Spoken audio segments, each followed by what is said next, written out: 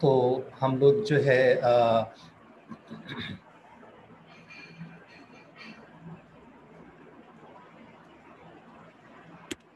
आ, हम लोगों ने कल ये सब किया था।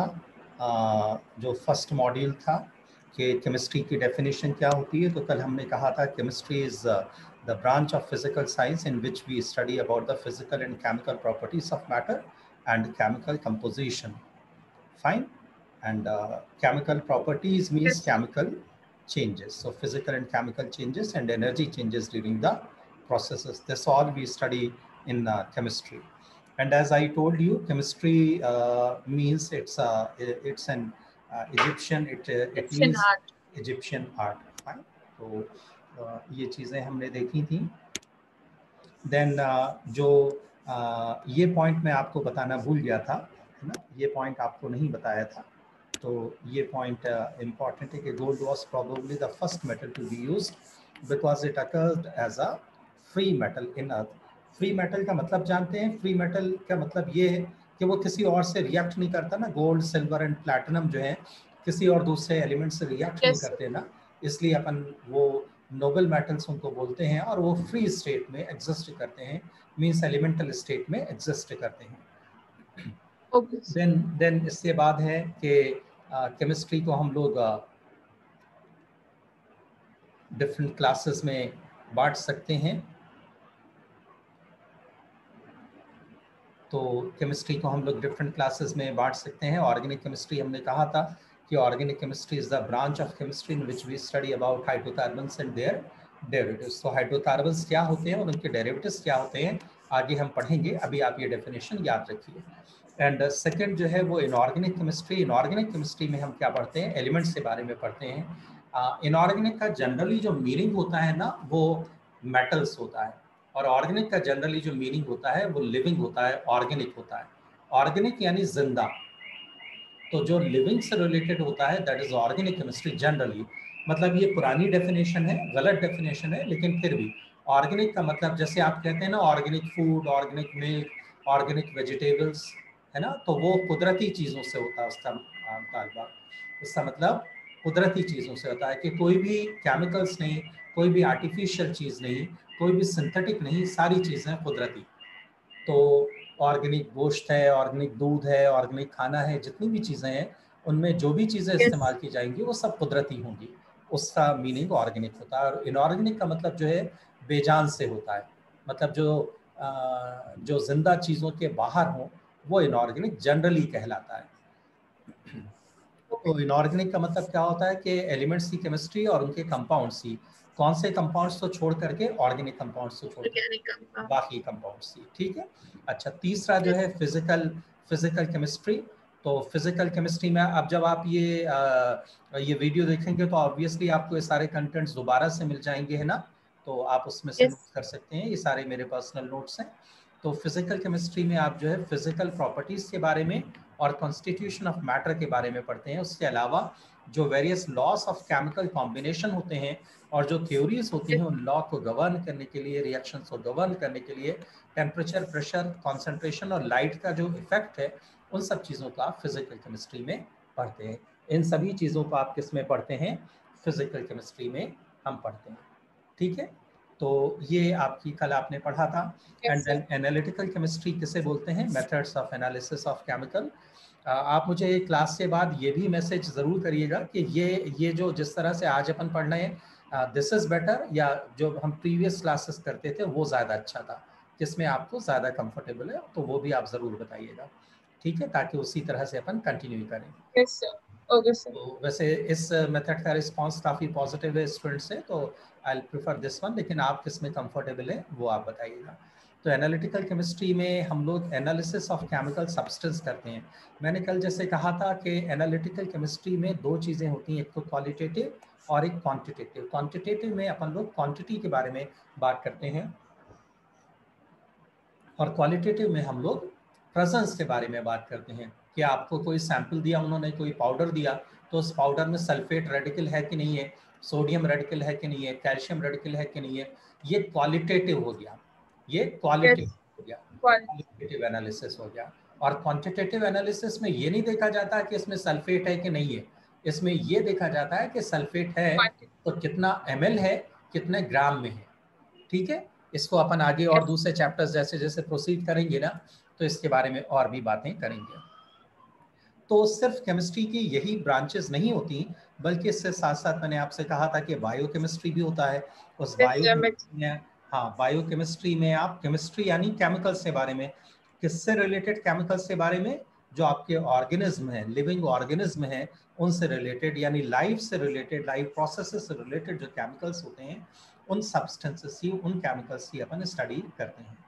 और ये आप ये भी कह सकते हैं कि बायोलॉजिकल प्रोसेस से रिलेटेड जो केमिस्ट्री है that is biochemistry and then second है मेडिसिनल जैसा फार्मास्यूटिकल केमिस्ट्री तो जो केमिकल सब्सटेंसेस होते हैं यानी जो दवाइयाँ होती हैं तो जो बीमारियाँ हैं उनका क्योर या उनका प्रिवेंशन किस तरह से किया जाए तो उसमें जो केमिकल सब्सटेंसेस यूज़ होते हैं वो यानी दवाइयाँ जो यूज़ होती हैं उन दवाइयों से रिलेटेड केमिस्ट्री है that is called medicinal chemistry then soil and agriculture chemistry तो सॉइल एंड एग्रीकल्चर केमिस्ट्री में क्या होता है कि हम लोग जो analysis and treatment of soil कि किस तरह की क्रॉप के लिए कौन सी सॉइल अच्छी है और उस सॉइल में किस चीज़ की कमी है किन एलिमेंट्स की कमी है किन मिनरल्स की कमी है वो सब हम लोग इस सॉइल एंड एग्रीकल्चर केमिस्ट्री में पढ़ते हैं yes. देन किस तरह से जो क्रॉप है अब जैसे कुछ सालों पहले तक अपने यहाँ खाने पीने की बहुत कमी थी ना अनाज बहुत कम था तो एग्रीकल्चरल रिवोल्यूशन हुआ ग्रीन रिवोल्यूशन हुआ। उस ग्रीन रिवोल्यूशन में yes. क्या हुआ? हाइब्रिड क्रॉप्स आई यानी हाइब्रिड का मतलब आप बायो के पॉइंट ऑफ़ व्यू से देखें कि जैसे दो अच्छे पेरेंट्स का क्रॉस करना दैट इज़ कॉल्ड हाइब्रिडाइजेशन एक जो क्रॉप है उसमें सीड की नंबर बहुत ज़्यादा है। ठीक है? और दूसरी जो क्रॉप है उसमें जो सीड्स हैं उनका साइज़ बड़ा है। तो उन दो का अगर अपन क्रॉप क्रॉस फर्टिलाइजेशन करा देंगे फर्टिलाइजेशन करा देंगे उन दो का हाइब्रिडाइजेशन करा देंगे तो जो नई क्रॉप आएगी उसमें सीड्स का साइज़ भी बड़ा होगा और सीड्स से नंबर भी ज़्यादा होंगे। तो इस तरह से कम दरख्तों से कम पौधों से हम ज़्यादा एग्रीकल्चरल लीड प्रोड्यूस कर सकते हैं। ठीक है? तो इस तरह से एग्रीकल्चरल प्रोडक्शन बढ़ा सकते हैं। लेकिन एक हाइब्रिडाइजेशन की एक केमिस्ट्री के पॉइंट ऑफ़ व्यू से तो काम की चीज़ नहीं है लेकिन बायो के पॉइंट ऑफ़ व्यू से काम की चीज़ है कि जो हाइब्रिड ऑफ़ स्प्रिंग्स होते हैं ना जो हाइब्रिड प्रोडक्शन होता है वो हमेशा सेक्सुअली स्टोराइल होता है सेक्सुअली इमैच्योर होता है। अच्छा। ठीक है मतलब वो फर्दर प्रोड्यूस नहीं कर सकते। ओके इसलिए इसलिए अपने यहाँ उनको खाना हराम है उस तरह की चीज़ों को खाना हराम है। जो चिकन हम खाते हैं ना yes, ये चिकन हाइब्रिड होता है। ये हमारे हेल्थ के लिए अच्छा नहीं है। जो देसी होता है ना जो ऑर्गेनिक होता है वो अच्छा होता है लेकिन वो कॉस्टली होता है।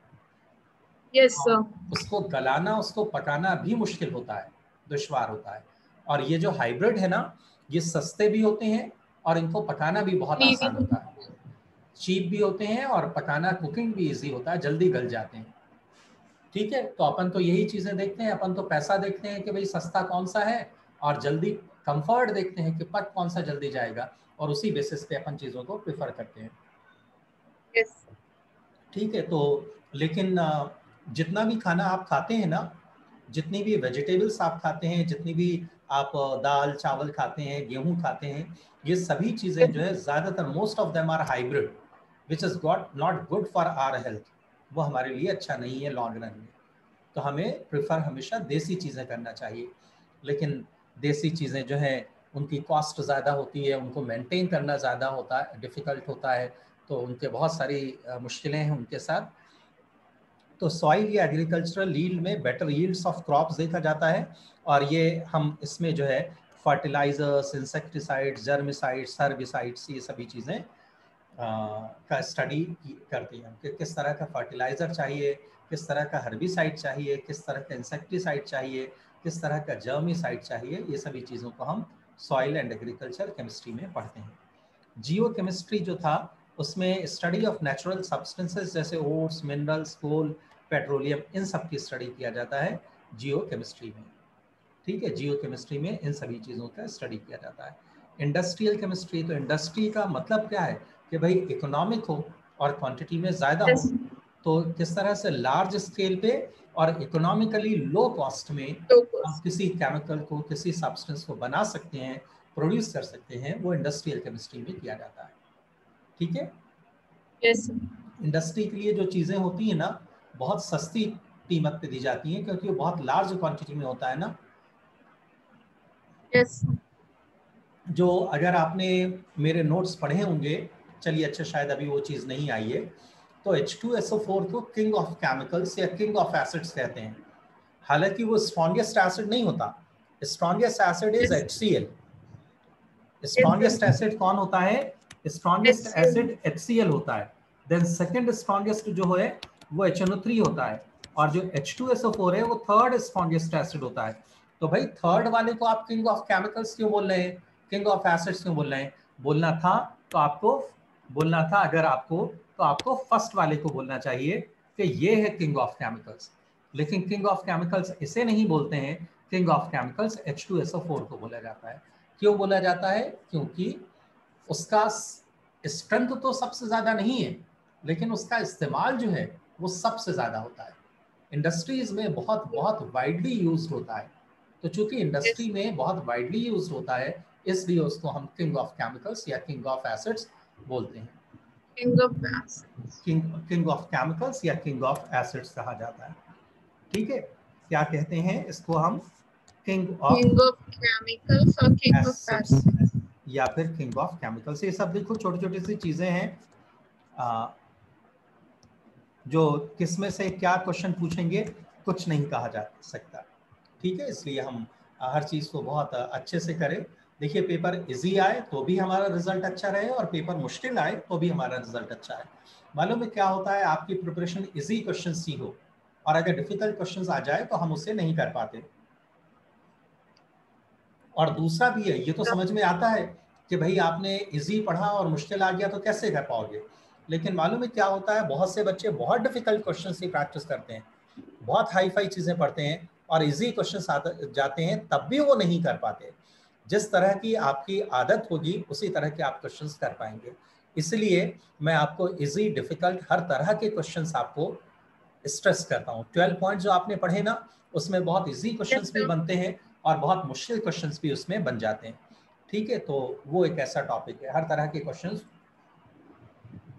हम कर सकते हैं।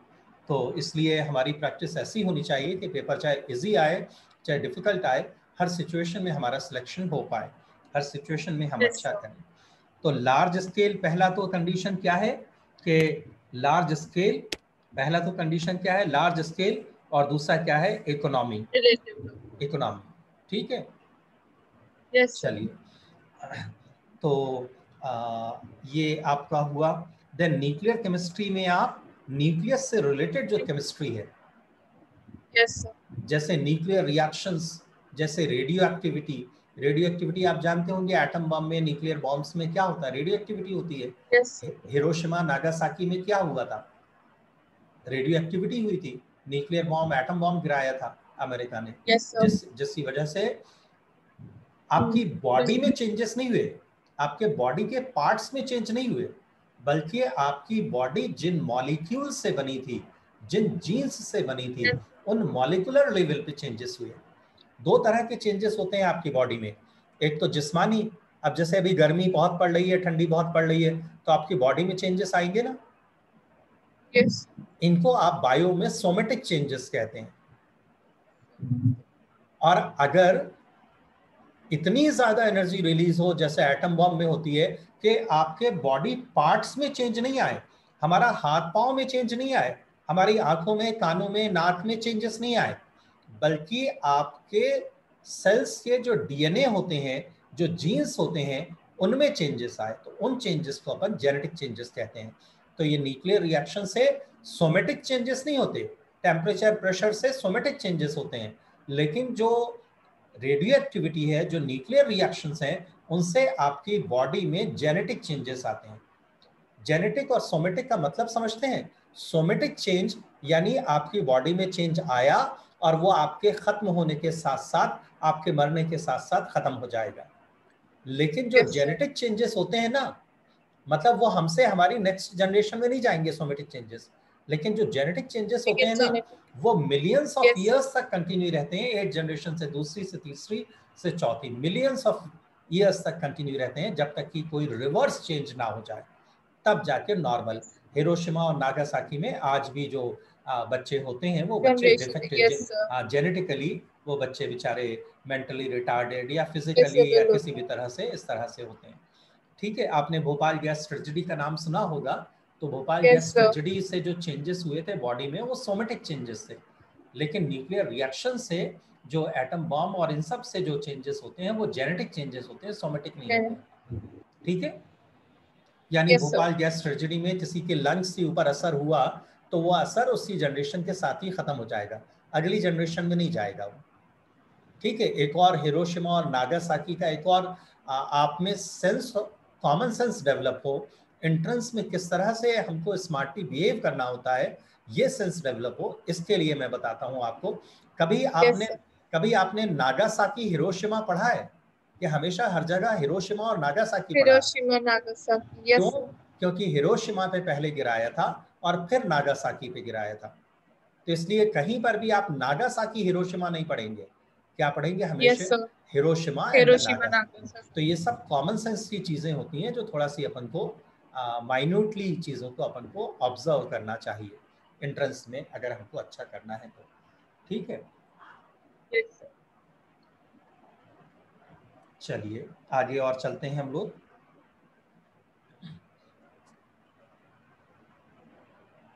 कि जो स्ट्रक्चरल केमिस्ट्री है स्ट्रक्चरल केमिस्ट्री में हम लोग जो स्ट्रक्चर होती हैं केमिकल सब्सटेंस की यानी वो सॉलिड है तो सॉलिड में किस तरह की है सी है एचसीपी है किस तरह की स्ट्रक्चर्स है उनके बारे में आ, हम लोग उनकी स्ट्रक्चर्स के डिटेल के बारे में हम लोग केमिकल सब्सटेंसेस से स्ट्रक्चर्स की डिटेल्स के बारे में हम लोग इस स्ट्रक्चरल केमिस्ट्री में पढ़ते हैं और उनकी प्रॉपर्टीज़ भी साथ में पढ़ते हैं।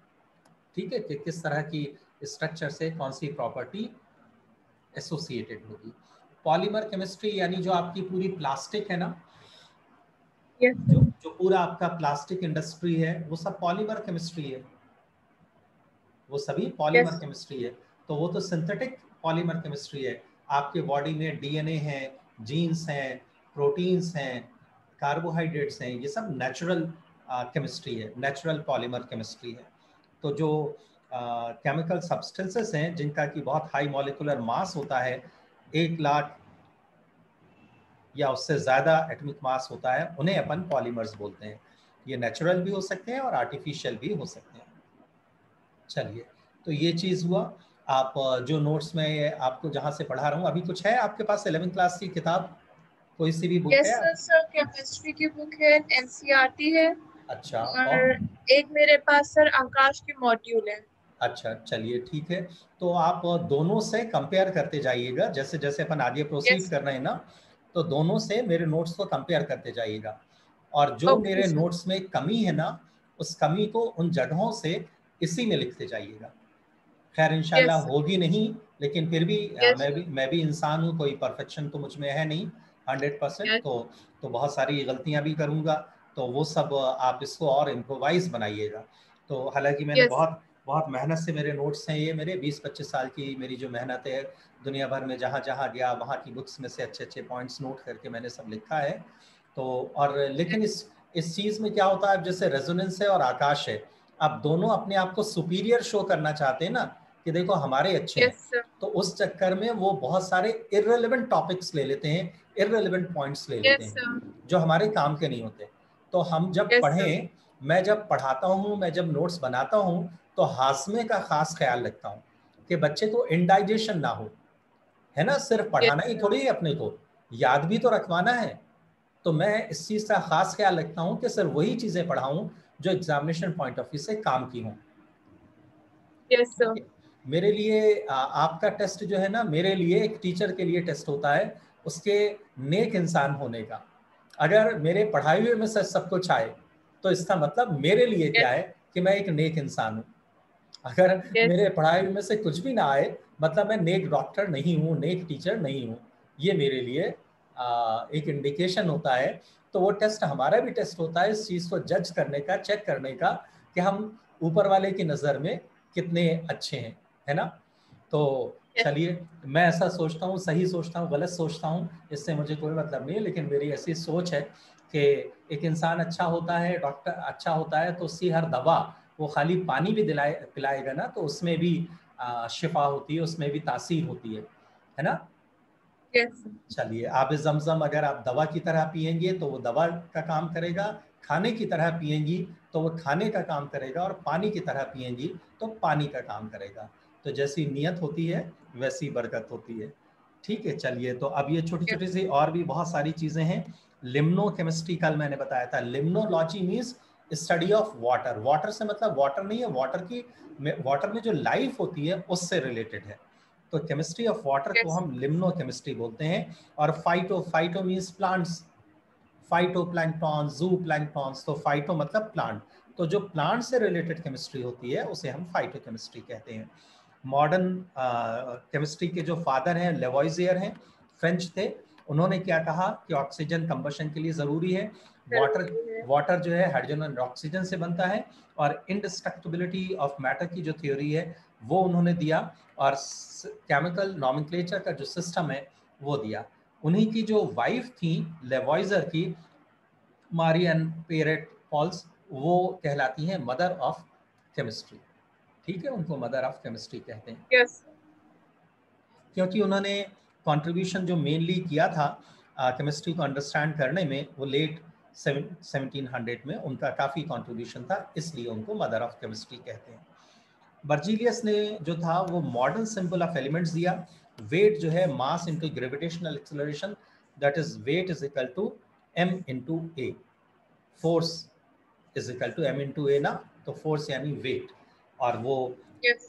वो अर्थ में जी के ऊपर डिपेंड करता है और मून में जी जो है वो आपका वन सिक्स होता है ना अर्थ के कंपेयर में। तो खैर फिजिक्स में वेट वेट और मास अलग अलग चीज़ होता है बट केमिस्ट्री में वेट और मास अलग अलग चीज़ नहीं होता है एक ही चीज़ होता है। ठीक है? Yes. अब जैसे आप ऐसे लिखते हैं ना आप ऐसे लिखते हैं। ठीक है? तो ये आप yes. इलेक्ट्रोकेमिस्ट्री में लिख सकते हैं और इलेक्ट्रोकेमिस्ट्री के अलावा कहीं पर भी इस तरह से नहीं लिखा जा सकता। और अगर आप लिखते हैं तो वो गलत होगा। चलिए खैर तो धीरे धीरे सारी बातें अपन को पता चलती जाएँगी। देन आगे और देखिए। आगे और देखिए आप कि जो मैटर है कोई भी चीज़ जो जिसका मास होता है जो वॉल्यूम ऑक्यूपाई करता है वो मैटर कहलाता है। ये तो सिक्स सेवंथ की चीज़ है जो अपन ने पढ़ी हुई है।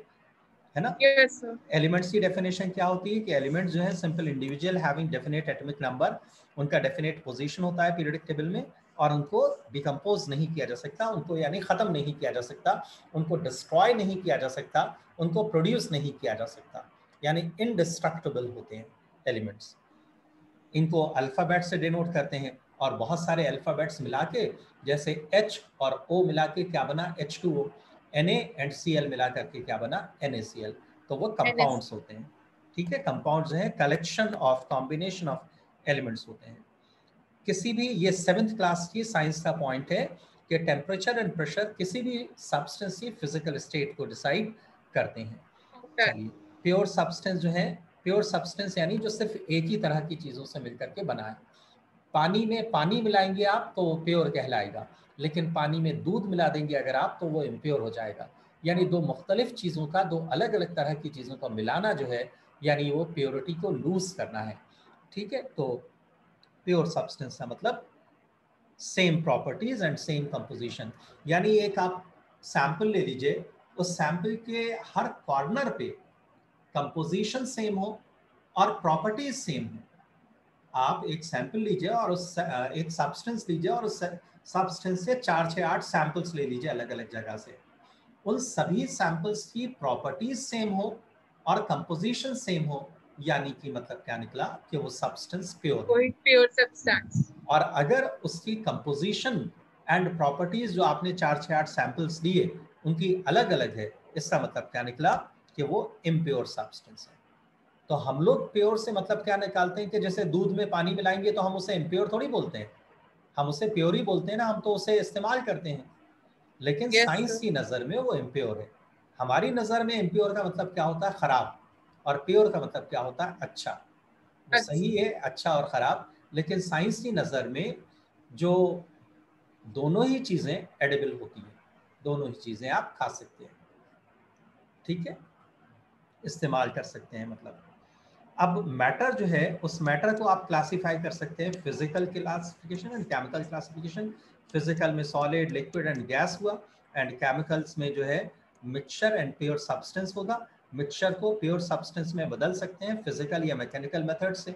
मिक्सचर जो है होमोजेनस होता है। जैसे रेत में अगर आपने मिट्टी मिला दिया तो वो हेट्रोजेनस हो गया। लेकिन रेत में आपने रेत मिलाया तो वो होमोजेनस रहेगा। होमो यानी सेम और जिनस यानी विजिबल तो सेम जो दिखाई दे वो होमोजेनस है। जिनकी कंपोजिशन सेम हो थ्रू आउट द सिस्टम उन्हें होमोजेनस बोलते हैं और जिनकी कंपोजिशन सेम ना हो throughout throughout the system उन्हें हम हेट्रोजेनस बोलते हैं। तो होमोजेनस एंड हेट्रोजेनस मिक्सचर जैसे शकर में आप पत्थर मिला दें वो हेट्रोजेनस है। शकर में आप मिट्टी मिला दें वो हेट्रोजेनस है। नमक में आप पत्थर मिला दें नमक में आप रेत मिला दें वो हेट्रोजेनस है। ठीक है लेकिन नमक में अगर आप नमक मिलाएँ तो वो होमोजेनस है। रेत में आप रेत मिलाएँ तो वो होमोजेनस है। यानी जब सभी तरह की चीज़ें कभी पता नहीं आपने ये एक्सपीरियंस किया हो कि नहीं किया है कभी आप नर्सरी स्कूल में किंडर गार्डन स्कूल में जाइएगा तो देखिएगा हर बच्चा आपको एक जैसा दिखाई देता है। अगर आपका छोटा भाई बहन या कजिन कोई भी हो Yes, आप. आप उसको तो क्यों? क्योंकि सारे बच्चों का साइज़ एक बराबर होता है। उनकी यूनिफॉर्म होती yes. है। हेयर स्टाइल ऑलमोस्ट सेम होता है। तो it is very difficult for us to recognise them why because they all are looking alike ना since they all are looking alike that's why means homogeneous तो homogeneous में जो constituents होते हैं ना उनको सेपरेट नहीं किया जा सकता। ना कंपोजिशन के बेसिस पे ना प्रॉपर्टीज़ के बेसिस पे। लेकिन जो हेट्रोजेनस होते हैं उनको हम डिस्टिंग्विश कर सकते हैं। ये फ़र्क होता है। अब जो प्योर सब्सटेंस था ये तो फ़िज़िकल मेथड थी अब देखिए इनका केमिकल मेथड्स हैं कि केमिकल मेथड से कंपाउंड्स को एलिमेंट्स में या एलिमेंट्स को कंपाउंड में बदला जा सकता है। अब कंपाउंड्स आपके ऑर्गेनिक भी हो सकते हैं और कंपाउंड्स आपके इनऑर्गेनिक भी हो सकते हैं। ठीक है यहाँ मैंने कंपाउंड्स लिख दिया है तो इसको मुझको क्या लिखना चाहिए था? इनऑर्गेनिक कंपाउंड्स लिखना चाहिए। तो इसके बारे में आप कुछ डेफिनेशन देख चुके हैं और आगे इंशाल्लाह और देखेंगे आप।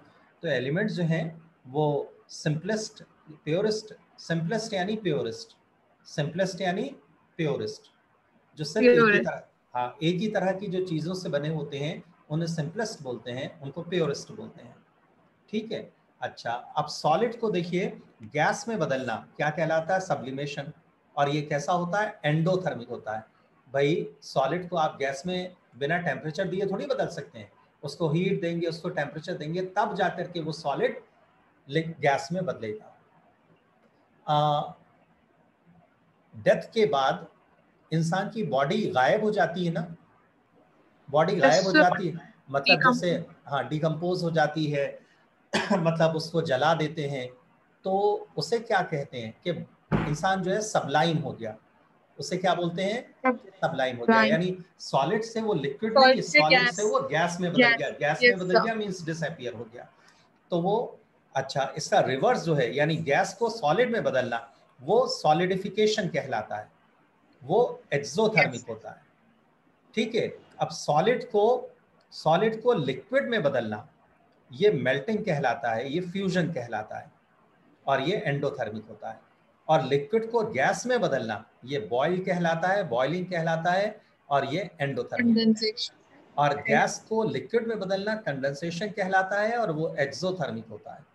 और लिक्विड को सॉलिड में बदलना फ्रीजिंग कहलाता है और वो एक्सोथर्मिक होता है। तो कौन सा एंडो है और कौन सा एक्सो है ये आपको ध्यान रखना है।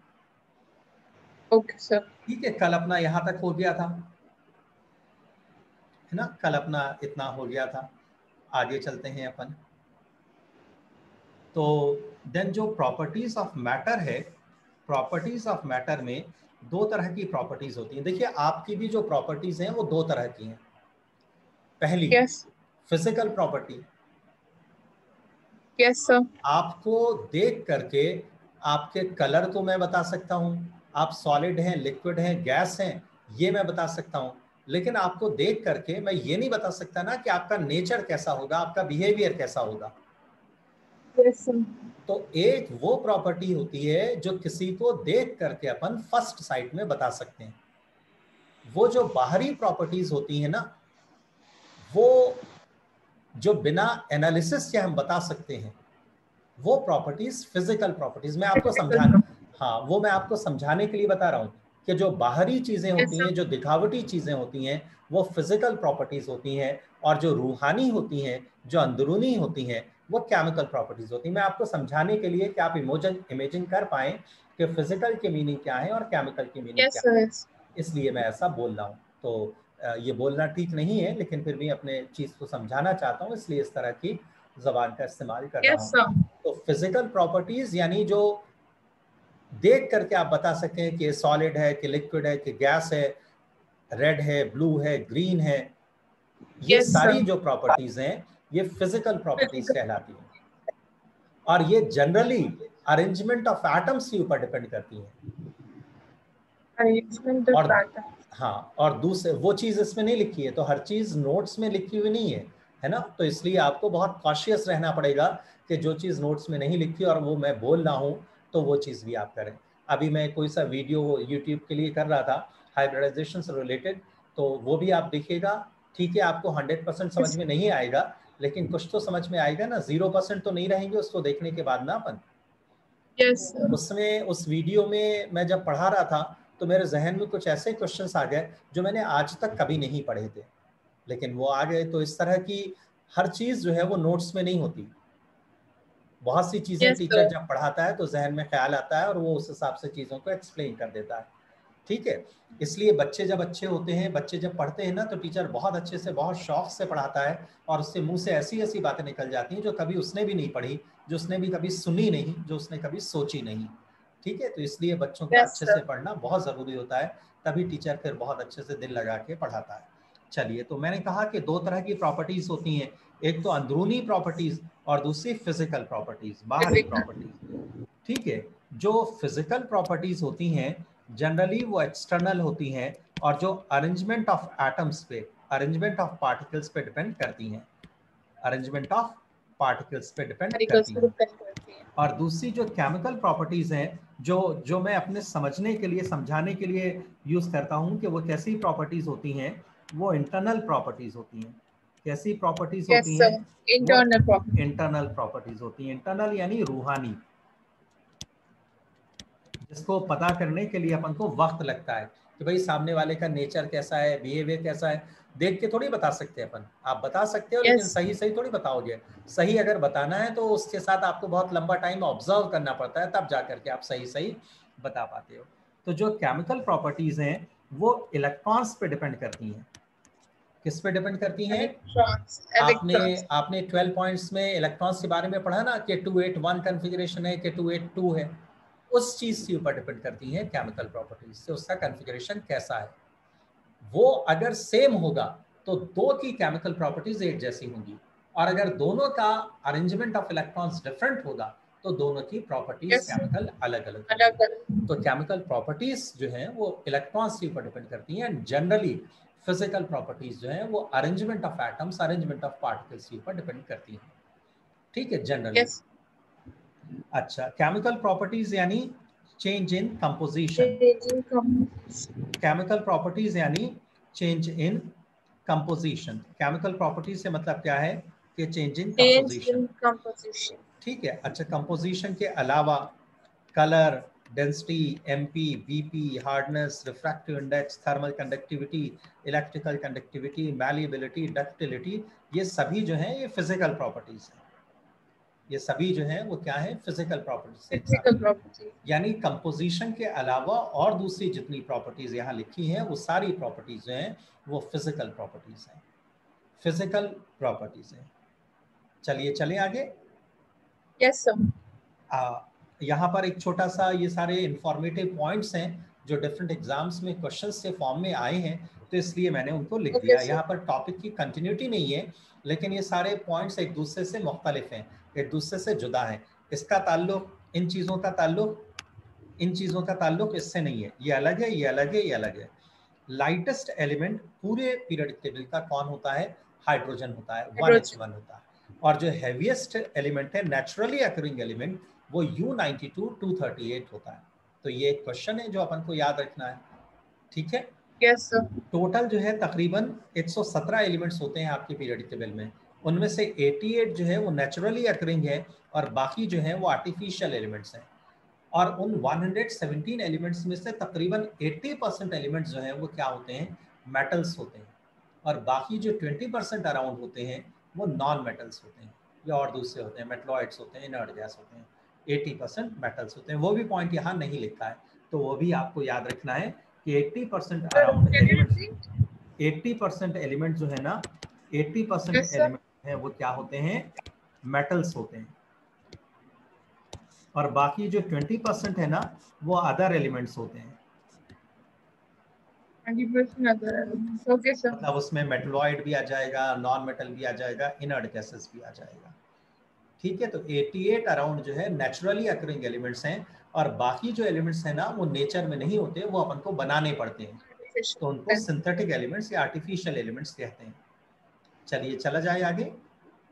यस सर चलिए और आगे देखते हैं अपन कि U92 के बाद के जो एलिमेंट्स हैं U92 के बाद के जो एलिमेंट्स हैं ना U92 के बाद के जो एलिमेंट्स हैं U92 के आफ्टर U U92 के बाद के जो एलिमेंट्स हैं वो एलिमेंट्स क्या कहलाते हैं? ट्रांस यूरेनिक एलिमेंट्स कहलाते हैं। क्या कहलाते हैं? ट्रांस यूरेनियम हाँ यूरेनियम के बाद U92 के बाद जो एलिमेंट्स हैं वो ट्रांस यूरेनिक एलिमेंट्स कहलाते हैं। और ज़्यादातर उनमें से किसने डिस्कवर किया? सी बोर्ग ने उनमें से ज़्यादातर एलिमेंट्स को डिस्कवर किया। और. बिस्मिथ हाँ सी बोर्ग जो बिस्मिथ 83 के बाद के एलिमेंट्स हैं most of them are radioactive elements तो बिस्मिथ एक, पहले कहा जाता था कि लेड 82 के बाद के। लेकिन अब क्या कहा जाता है कि बिस्मिथ 83 के बाद के जो एलिमेंट्स हैं, वो रेडियो एक्टिव एलिमेंट्स कहलाते हैं और U92 के बाद के जो एलिमेंट्स हैं, वो एलिमेंट्स जो हैं, वो ट्रांस यूरेनिक एलिमेंट्स कहलाते हैं। बहुत आसान है, कोई बड़ा, इसलिए पीरियडिक टेबल देखिए आपका जो इजी या डिफिकल्टी लेवल जो है ना, वो इस चीज़ से डिसाइड होगा कि आपको पीरियडिक टेबल कितना आता है। अगर पीरियडिक टेबल Yes, याद होगा तो आपकी केमिस्ट्री इजी हो जाएगी और अगर याद नहीं होगा तो हर जगह मुश्किल जाएगी हर जगह आपको याद करना पड़ेगा चीज़ें। अच्छा टीसी का मतलब क्या होता है? टेक्नीशियम तो टेक्नीशियम जो 43 एलिमेंट है ना वो पहला रेडियो एक्टिव एलिमेंट है। वो पहला सॉरी आर्टिफिशियल एलिमेंट है मैंने रेडियो एक्टिव बोल दिया। जो टीसी 43 है ना वो फ़र्स्ट आर्टिफिशियल एलिमेंट हाँ। जो सबसे पहला एलिमेंट बनाया गया था वो टी सी फोर्टी थ्री था। चलें आगे। यस सर जो 10 एलिमेंट्स हैं जो मिल करके अर्थ क्रस्ट का 99 परसेंट पार्ट बनाते हैं। ये जो 10 एलिमेंट्स जो नेचुरली अकरिंग एलिमेंट्स हैं ये मिल करके अर्थ क्रस्ट का 99 परसेंट पार्ट बनाते हैं। यानी बाकी 107 एलिमेंट जो हैं वो तकरीबन सिर्फ़ एक परसेंट के अंदर आते हैं। इनमें इनमें जो ऑक्सीजन है ना वो 49.5 परसेंट है। जो सिलिकॉन है वो 25.7 परसेंट है। जो एल्यूमिनियम है 7.5 अब इसमें कैसे क्वेश्चन पूछ सकते हैं आपको कि most abundant element sorry most abundant metal earth crust में कौन सा है? तो most abundant metal earth crust में कौन सा है? Most abundant metal earth crust में कौन सा है? एल्यूमिनियम एल्यूमिनियम मेटल पूछा ना उन्होंने। यस सर तो एल्यूमिनियम। से- तो आप ये पूछ चुके लोगों ने इसको तैयार कर लिया। अगले साल उन्होंने क्या पूछ लिया कि सेकंड मोस्ट अबंडेंट मेटल कौन सा है? एफई अब मैंने जो है वो आपको पूरा लिख दिया कि थर्ड पूछे फोर्थ पूछे फिफ्थ पूछे जो सा भी पूछे सिक्स पूछे जो सा भी पूछे आप हर चीज़ को कर पाए। तो देन Fe है देन थर्ड जो है मेटल में कैल्शियम है देन सोडियम है देन पोटेशियम है देन मैग्नीशियम है देन हाइड्रोजन जो है 0.87 परसेंट होता है अर्थ क्रस्ट का और टाइटेनियम जो है 0.58 परसेंट होता है और ये सारे मिल करके कितना बना रहे हैं? 99.2 परसेंट बना रहे हैं। Point eight percent rest of the other elements other than these ten elements होते हैं। ठीक है? Yes चलिए आगे चलते हैं अपन और।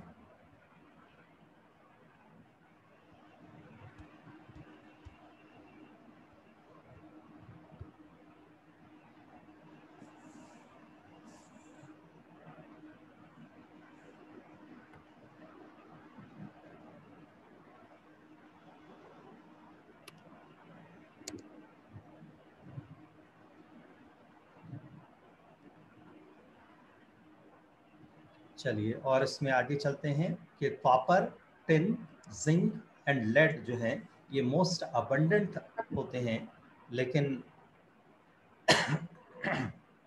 लेकिन इनको एक्सट्रैक्ट करना आसान होता है। Most abundant but deposits are rich and easily expected होते हैं। ये इन मेटल्स को आसानी से निकाला जा सकता है। टाइटेनियम और जिरकॉनियम जो है, वो ऐसे मेटल्स हैं जो अबेंडेंट तो होते हैं लेकिन उनके डिपॉजिट्स ज़्यादा रिच नहीं होते हैं and extraction is difficult and experience extraction is difficult and expensive experience नहीं एक्सपेंसिव मतलब समझे इन दो चीज़ों का। आपने यहाँ लिखा most abundant but deposits are rich यानी जिस yes. जगह पर भी ये मेटल्स होते हैं उनकी बहुत सारी क्वांटिटी इन मेटल्स की ही होती है। अब सेकंड वाले में आपने क्या लिखा?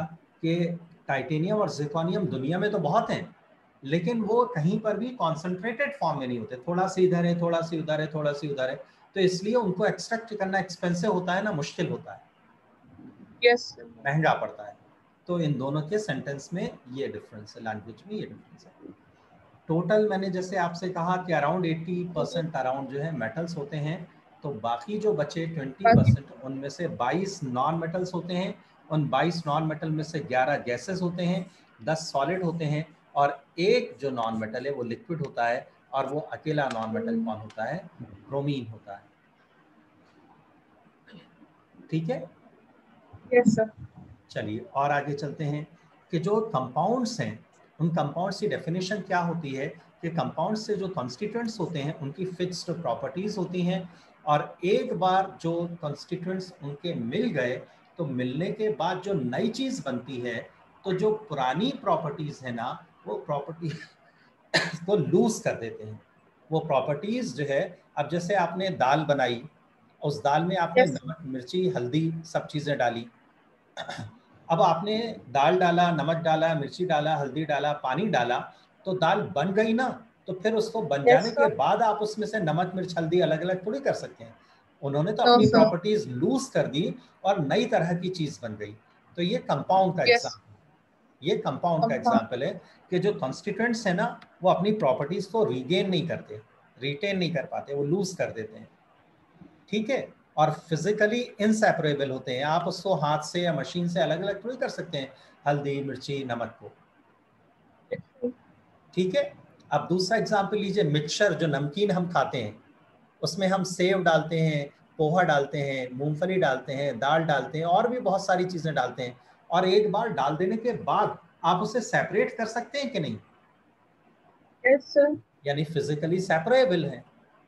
Yes, और कॉन्स्टिट्यूएंट्स अपनी प्रॉपर्टी मूंगफली उसमें आपने डाल दी तो डाल देने के बाद मूंगफली का टेस्ट थोड़ी बदल जाता है। वो तो वही रहता है ना। प्रॉपर्टी yes, बदल जाती है। तो जो मिक्सचर होता है उसमें कॉन्स्टिट्यूएंट्स अपनी प्रॉपर्टीज़ को रिगेन करते हैं रिटेन करते हैं फिजिकली इनसेपरेबल होते हैं और उनका कोई फिक्स्ड प्रोपोर्शन नहीं होता। आप जितना दिल चाहे मूंगफली डाल दीजिए आप जितना दिल चाहे उसमें पोहा डाल दीजिए सेव डाल दीजिए दाल डाल दीजिए जो भी जितना दिल चाहे डाल दीजिए तो मिक्सचर की जो प्रॉपर्टीज़ होती हैं जो कंपोजिशन होती है वो फिक्स नहीं होती है।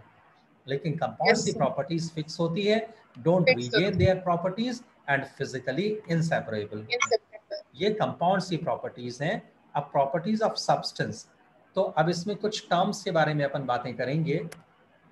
टर्म्स के बारे में अपन बातें करेंगे कि देखिए डेलिक्वेसेंस क्या होता है। डेलिक्वेसेंस का मतलब क्या होता है कि एटमॉस्फेयर में जो मॉइस्चर प्रेजेंट है ना एटमॉस्फेयर yes, में जो मॉइस्चर प्रेजेंट है उस मॉइस्चर को एब्जॉर्ब कर लेना।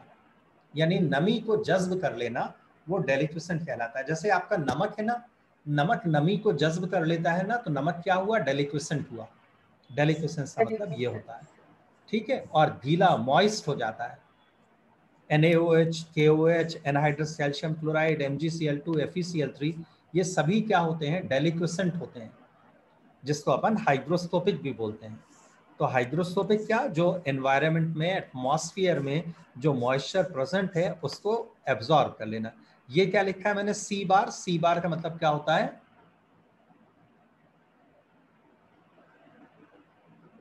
विथ yes सी बार का मतलब क्या होता है? With with. हाँ. सी बार का मतलब होता है विथ ओके sir.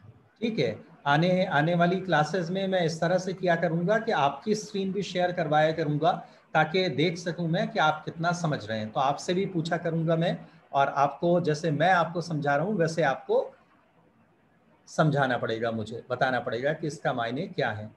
ठीक है? okay वो भी वो भी आगे करेंगे इसलिए बहुत अच्छे से ध्यान से चीज़ों को सुनिए ताकि आप सब चीज़ों को बता पाएँ। हाइग्रोस्कोपिक का का मतलब होता है कि नमी को मॉइस्चर को एटमॉस्फेयर से जज्ब करना यानी डेलिक्वेसेंट और हाइग्रोस्कोपिक दोनों एक ही चीज़ें होती हैं। दोनों सेम चीज़ है? हाँ, दोनों एक सेम चीज़ें होती हैं। और उससे क्या बनता है? हाइड्रोक्साइड्स बनते हैं या हाइड्रेट्स बनते हैं। जैसे एनहाइड्रस सी एस एफ़ या सी ओ या N A two C O three जो है मॉइस्चर को जज्ब कर लेंगे और हाइड्रेटेड फॉर्म में कन्वर्ट हो जाएँगे। अब इसका उल्टा जो होता है ना, पानी लेना जो है, वो डेलिक्वेसेंट है हाइग्रोस्कोपिक है। और पानी निकालना लूज करना, वो क्या है? एफ्लोरेसेंट है। Loss of water of crystallisation ये सब बहुत छोटी छोटी सी चीज़ें हैं जो आपको कहीं नहीं मिलेंगी। ये आपको Yes. कहीं मिलना एक जगह पे मिलना पॉसिबल नहीं है। कहीं पर डेलिक्वेसेंट मिलेगा किसी दूसरे चैप्टर में हाइग्रोस्कोपिक मिलेगा जब तक आपको हाइग्रोस्कोपिक मिलेगा तब तक आप डेलिक्वेसेंट भूल जाएँगे। डेलिक्वेसेंट और हाइग्रोस्कोपिक दोनों आपने पढ़ लिया कुछ दूसरी जगह पे आपको एफ्लोरेसेंट मिलेगा तब तक आप डेलिक्वेसेंट और हाइग्रोस्कोपिक भूल जाएँगे।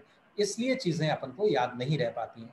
तो मैं जितनी भी रेलेवेंट चीज़ें होती हैं सबको एक जगह पे लिखता हूँ ताकि आप उनको कंपेयर कर पाएँ और उनको याद रख पाएँ। ठीक है? तो एफ्लोरेसेंट जो है वो. डेलिक्वेसेंट एंड हाइग्रोस्कोपिक का जस्ट अपोजिट होता है। और पानी को लूज करना जिसकी वजह से वो पाउडरी सरफेस जो है उनका पाउडरी हो जाता है। जैसे F E S O four dot seven H two ये क्या है? ग्रीन विट्रियल ये क्या है? आपका आपका वॉशिंग सोडा ये क्या है आपका? ग्लोबस सॉल्ट ये क्या है आपका? पोटाश एलम ये पूरा एक ही चीज़ है। ये क्या है? पोटाश ये क्या है? एलम फिटकरी। फिटकरी जो बोलते? हैं ना फिटकरी जो बोलते हैं ना फिटकरी। नहीं पता। Alum alum. आई डोंट हाँ तो चलिए यूजुअली हमारे घरों में होती है फिटकरी। आपने देखा नहीं होगा वो बात अलग है। आ, जैसे मिस्री होती है ना खाने वाली। मिस यस सर देखने में वो भी उसी की तरह होती है लेकिन उसे खा नहीं सकते अपन। समझ में आया? उसमें ऐसा क्या होता है? अरे बाप रे उसको अगर खाओगे ना आप जो पानी होता है ना पानी को साफ़ करने के लिए फिटकरी को एक धागे में बाँध के और टैंक में से बहुत तेज़ी से घुमा दिया जाता है। अगर पानी में ज़्यादा क्वांटिटी में फिटकरी हो जाए और उस पानी को आप पी लो तो वो पानी जो है ना आपके इंटेस्टाइन में ब्लेड्स की तरह काम करेगा। अगर आपकी इंटेस्टाइन में Blade. ब्लेड चला जाए तो क्या होगा? पूरी ब्लीडिंग होने लगेगी ना कट पट जाएगा इंटेस्टाइन आपकी। सर सेम वही फिटकरी काम करता है। फिटकरी इतनी। खतरनाक चीज़ होती है तो फिटकरी अपन खा नहीं सकते मुँह में रख नहीं सकते। पूरा वो सर ब्लीडिंग करने लगता है। ठीक है चाकू की तरह काम करता है। देन मैलिएबिलिटी मैलिएबिलिटी का मतलब क्या होता है कि आपने देखा होगा कि जो मेटल का बिज़नेस करते हैं वो मेटल्स को बहुत शीट को मेटल को बहुत थिन शीट्स में कन्वर्ट कर देते हैं ना? यस बहुत बार बार पीट पीट बार- के बार yes, बार हैमरिंग yes. कर करके उसको थिन शीट में कन्वर्ट कर देते हैं। That is called malleability beat beaten. Into a thin sheet copper AG. AU aluminium lead आपने सर आपने अगर आप सिटी में रहते हैं हैदराबाद दिल्ली में तो हर शहर Yes. के जो सिटी एरिया होता है ना सिटी एरिया में चांदी के सोने के वर्क बनाए जाते हैं ना? क्या चीज़ चांदी सोने का वर्क बनाया जाता है ना? यस सर यस सर मिठाई के ऊपर लगता है ना भाई चांदी yes silver yes silver silver foil gold foil silver foil coating नहीं फॉइल फॉइल ओके हाँ जो सिल्वर फॉइल या गोल्ड फॉइल होती है मिठाई के ऊपर जो अपन लगाते हैं खाने पीने की चीज़ों के ऊपर Yes, अपन लगाते हैं तो वो जो है वो ऐसे ही तो बनती हैं उसको एक चमड़े के बैग में रख लेते हैं छोटे से मेटल के पीस को और उसको इतना पीटते हैं इतना पीटते हैं इतना पीटते हैं कि वो थिन शीट में कन्वर्ट हो जाता है। इतने इतने पतले वर्क में बदल जाता है। हाँ ओके सर ठीक है? और ये जो सिल्वर Yes. और गोल्ड की जो फॉइल्स है ना ये फेस पे लगाने के भी काम आती है। जो मुगल्स की वाइफ्स होती थी वो लोग इतनी खूबसूरत उनके घर की औरतें इतनी खूबसूरत होती थी उसका वजह मालूम है क्या है? कि वो लोग जो है ना सोने चांदी को पत्थरों में घिस के प्रेशियस मेटल्स को घिस के फेस पे लगाते थे। आप देखोगे गोल्ड फेशियल कराओगे सिल्वर फेशियल कराओगे यस सर तो यस ज- जरा सी अगर अपन पाँच सात मिनट अगर अपन अपने स्किन पे ऑर्डिनरी क्रीम लगा दें तेल लगा दें तो अपनी स्किन ग्लो करने लगती है ना? यस सर तो सोचो आपके जब ये प्रेशियस मेटल्स और प्रेशियस स्टोन्स जब अपन रब करके और अपने फेस पे लगाएँगे तो कितना स्किन ग्लो करेगा? जो आपका गोल्ड फेशियल Yes. होता है उसमें गोल्ड थोड़ी होता है लेकिन फिर भी स्किन ग्लो करने लगती है ना? तो अगर उसमें Yes, प्योर गोल्ड हो तो आप इमेजिन कर सकते हो कि कितना स्किन ग्लो करेगी। ठीक है? डक्टिलिटी क्या होता है कि मेटल के मेटल को थिन वायर्स में कन्वर्ट कर लिया जाता है। मेटल को थिन वायर्स में खींच करके कन्वर्ट कर लिया जाता है उसे डक्टिलिटी बोलते हैं। और प्लैटिनम जो है ये ये पॉइंट देखिए इंपॉर्टेंट है जो आपके काम का है कि आपने क्या कहा कि जो प्लैटिनम है वो मोस्ट डक्टाइल मेटल है और जो गोल्ड है वो मोस्ट मैलिएबल ये सब क्वेश्चंस हैं।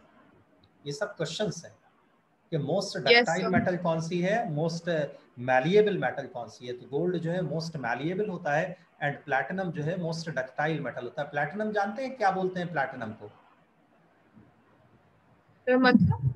प्लैटिनम को हाँ प्लैटिनम क्या होता है? जानते हैं? सब ये मत बोलना हाँ. आपके। मेटल होता है ये मत बोलना आपके मेटल होता है। ठीक है प्लैटिनम क्या होता है? White gold white yes sir jewellery हाँ यानी सोने से भी ज़्यादा कीमती होता है वो सोने से भी ज़्यादा तो- हाँ। अपने अपने यहाँ जैसे गोल्ड पहनना मर्दों के लिए हराम है ना तो मर्द जो है Yes, वो. प्लैटिनम पहन सकते हैं वाइट गोल्ड पहन सकते हैं। ठीक है that's not for forbidden for mans there in Islam platinum जो है उसको वाइट गोल्ड बोलते हैं और सबसे ज़्यादा कीमती सबसे ज़्यादा महँगा मेटल होता है। ठीक है? सबसे कम. रेट पे होता है। चलिए और आगे चलते हैं अपन कि हार्डनेस हार्डनेस के लिए मोस स्केल होता है। एम एच ओ ओम्स का उल्टा ना मो ओम्स का उल्टा मो मो स्केल होता है। डायमंड जो है वो हार्डेस्ट सब्सटेंस में से है। डायमंड एंड टोपास ये इनका हार्डनेस जो है मोस स्केल में टेन होता है। सेकेंड हार्डेस्ट जो सब्सटेंस है वो कोरंडम है नाइन होता है। थर्ड जो है ना क्वाड्स है इसका सेवन होता है। जो क्वाड्स है ना जो क्वाड्स है ना यस सर आ, इसको आ, मैं अरेबिक में क्या बोलते हैं मुझे नाम याद नहीं आ रहा। ये हमारे यहाँ पहनना सुन्नत है हुजूर पहनते थे क्वाड्स। जो अंगूठी आते हैं ना अंगूठी में जो स्टोन होता है मुझे नाम याद नहीं आ रहा उसको क्या बोलते हैं? मम्मी से सर जो रेड स्टोन होता है। ना ना ना। मम्मी से आप पूछना मम्मी बता देंगी कि हुजूर जो पहनते थे सुन्नत है अपने यहाँ Okay. पहनना। मम्मी पापा लोग बता देंगे। मुझे मुझे अभी याद नहीं आ रहा जब याद आएगा तो बताऊँगा। वो क्वाड्स होता है। वो तो क्या होता है? क्वाड्स होता है।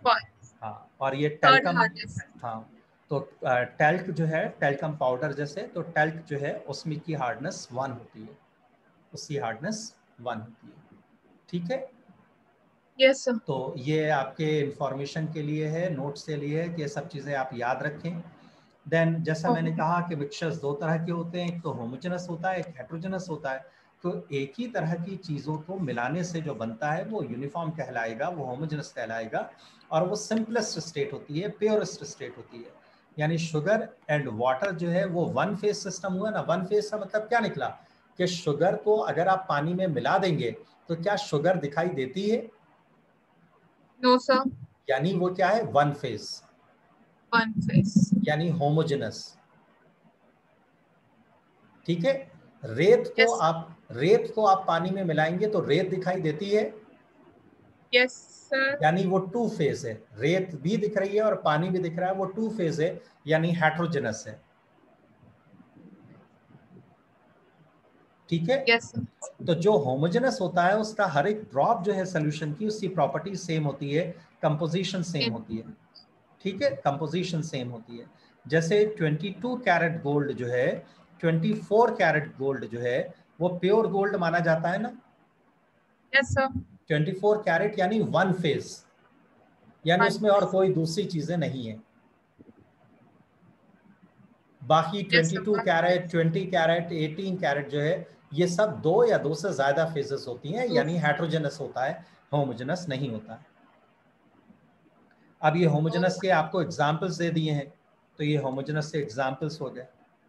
एयर होमोजनस है मिक्सचर ऑफ़ हाइड्रोकार्बन होमोजनस है। ठीक है? Yes sir.